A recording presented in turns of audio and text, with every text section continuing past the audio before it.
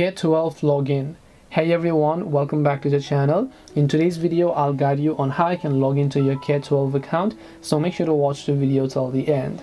So if you want to log into K12, it's actually very simple. All you have to do is go ahead and then make sure to launch the K12 application here.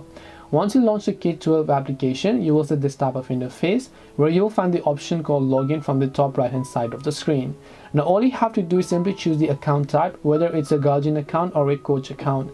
If you're a guardian, you can simply enter the guardian option. Now right over here, you'll find the option called email and password. So make sure to simply enter your email and password and then tap the login option in order to log into your account or you can just tap the coach option if you are a coach if you don't have an account you can tap on don't have if you forgot your email you can tap on forgot in order to reset them this way you'll be able to log into K12 hope this video was very helpful to you guys if it did help you then make sure to leave a like and subscribe to our channel.